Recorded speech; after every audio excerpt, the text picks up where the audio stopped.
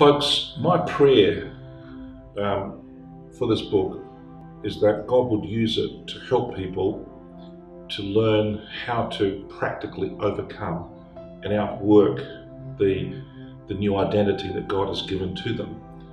And uh, it's really a guide to victory, understanding uh, who we are in Christ and what Christ has made available for us. And each of the folks who testified,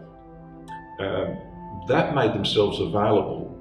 to share with any of the readers who want to talk to them, whether it's Penny Hambore or Steve Sherman, Kathy Vasilakis, Jim Vassos, Philip Bryce or Ray Betcher, uh, or myself as the author, and including my own story in, in the book,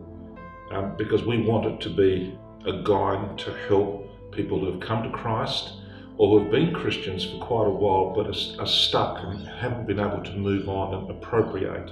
the victory that Christ has made available through his life, death, resurrection, and ongoing ministry through the Holy Spirit and through his word. So that's my prayer that it would be a really helpful tool for you to not just connect with God, but to grow in Christ and to learn to overcome all the works of the enemy and to defeat uh, the sinful nature that we all battle with and experience the, the true victory that is now ours through Jesus Christ. God bless you.